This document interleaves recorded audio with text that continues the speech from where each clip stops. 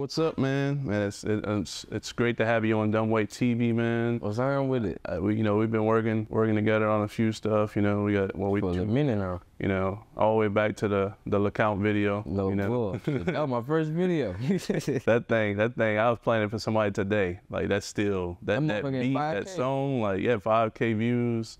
Man, uh, introduce you to everybody that might not know you, man. What's good, shit? It's your boy Lil Muwhop. You heard me? All right. Now that name, Lil Muwhop, where, where does that come from, man? Where where you? Where, would somebody give it to you? Is something you picked up? You know? The first person that ever called me that was my cousin Headman. Yeah. But then everybody else just started calling me that, so shit, I just ran with it. Muwhop. Now, how did you get into music? Was it a family thing? Was it somebody in, in your neighborhood that kind of put you on, or Yeah, my mom and my daddy. Shit, my daddy was supposed to be a rapper. really? No bullshit. he tell me that every like every day.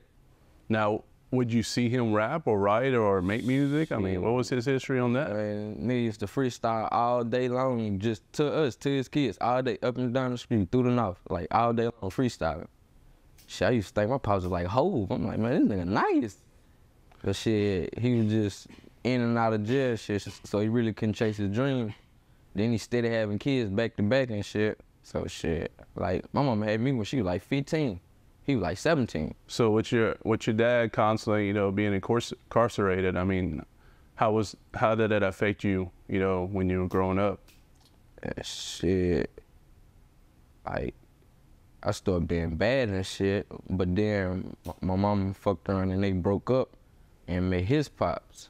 So then, shit, after that, shit, I always had his pops to look up to. So shit, I always had a father figure in my life, like a boy. So, where were you? Where were you raised? Shit, I was raised out here.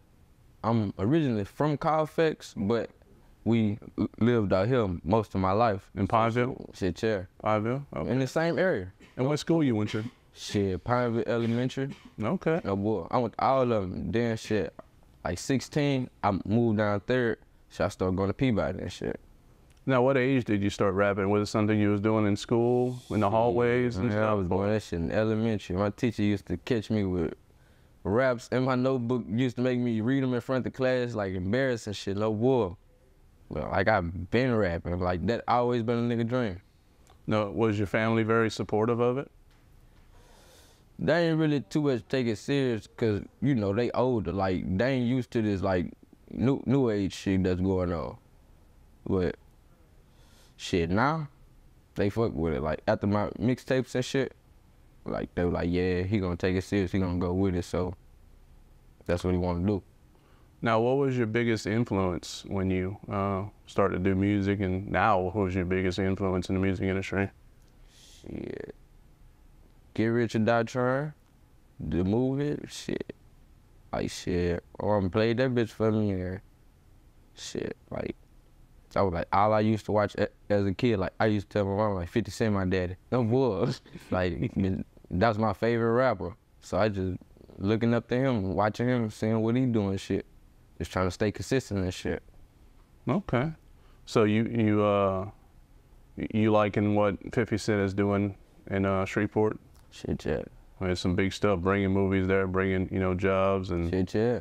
You know how Open you up the doors for a lot of people around now. yeah, how you feel about him you know wanting to change their slogan, you know, no more ratchet type vibe there, you know. Nah, he ain't gonna be able to do that. It's gonna forever be that ratchet.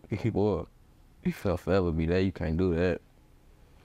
Now, Shit, Only thing he can do is embrace it, yeah. make it bigger than what it is now. Yeah, basically, it's it's best to take something that might be represented in a bad way, and make it and represent a good thing. No bull. You know, instead of just completely removing it. Now, um, on another topic of uh, you know, bigger artists, with the situation with Kendrick, you know, headline the Super Bowl in New Orleans instead of Wayne. How you feel about that? Alright. Shit. Even though they didn't give it to Wayne, Kendrick got to bring Wayne out because she in this city. I can see if it was in Cali.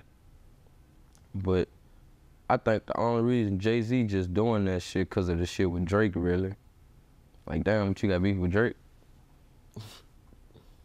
like, it's all type of shit, though.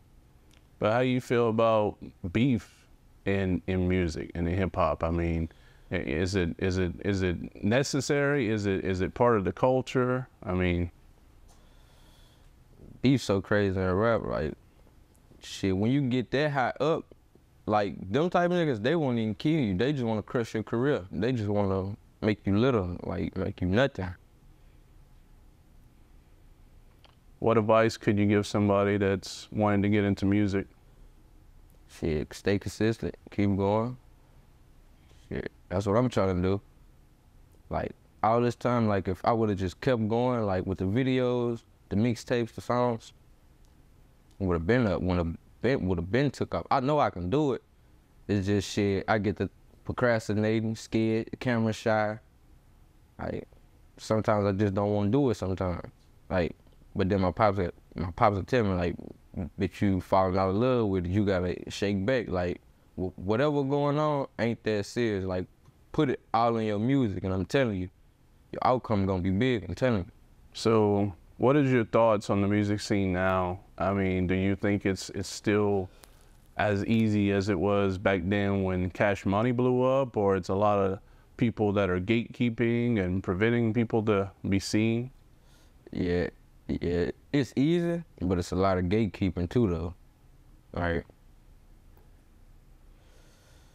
you can be coming up, and it's another artist. He already got a little buzz in the city. Shit, he can put that word in. Shit, radio stations ain't gonna play you. Cameramans ain't gonna wanna fuck with you. Like certain shit like that. Like little petty shit.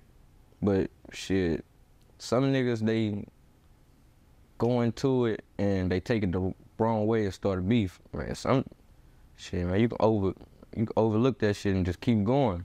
Shit, be like fuck them. You can pass all of them up. Cameraman, radio station, shit. Eventually, they gonna want to fuck with you. They gonna have to.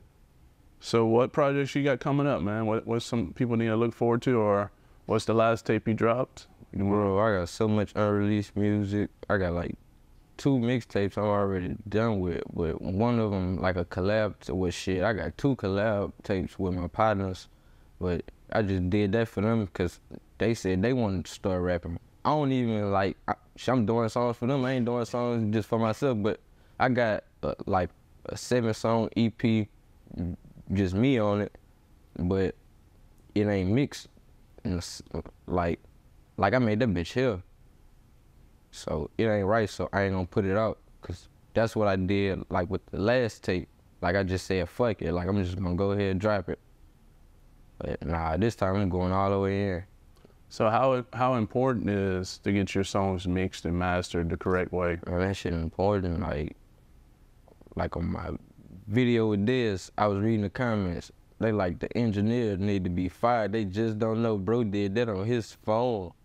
But we recorded it in the crib and it sounded right. But he went home and recorded his verse, and he played it, in the store that day. And I thought it was right. I'm high tripping. Shit, fucking around seeing the video. That I'm like, oh man. Yeah, actually, um, I caught it afterwards. Whoever mixed it put one, I think Dez's verse in the left or the right ear, not both ears. Yeah, like, man, what yeah. the fuck? Yeah, I mean, being getting your stuff mixed and mastered. I mean, I, I, preach it all the time. You know, I mean, there's some good stuff that's done on phones and BandLab and all that. That's that's cool.